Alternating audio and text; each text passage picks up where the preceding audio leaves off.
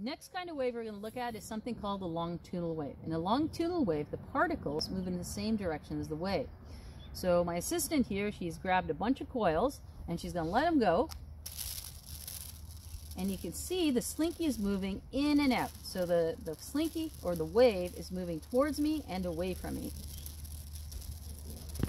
The other thing that we see is that the coils are getting closer together and further apart as the wave moves down.